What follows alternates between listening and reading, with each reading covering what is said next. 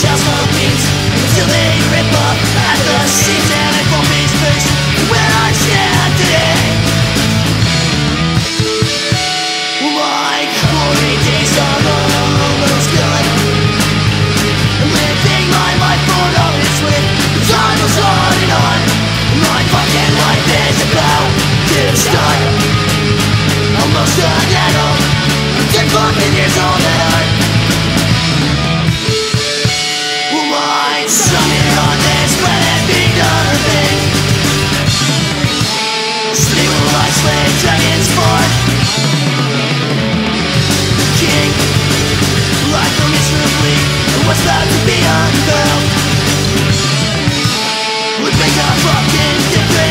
Yes!